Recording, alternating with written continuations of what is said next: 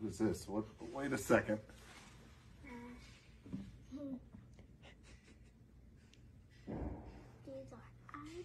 Eyeballs. Why are eyeballs on my forehead? I don't know if that's a good idea. Listen,